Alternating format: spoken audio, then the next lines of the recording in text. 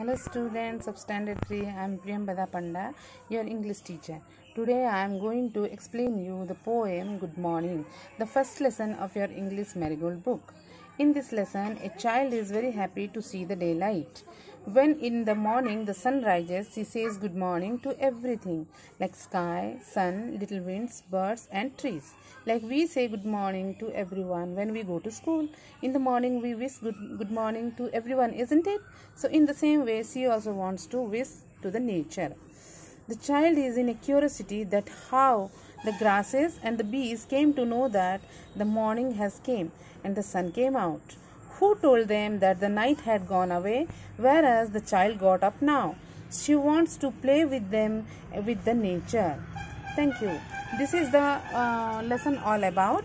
And now i'm i'm going to tell you the uh, questions answers which i given you in the task. And uh, listen carefully.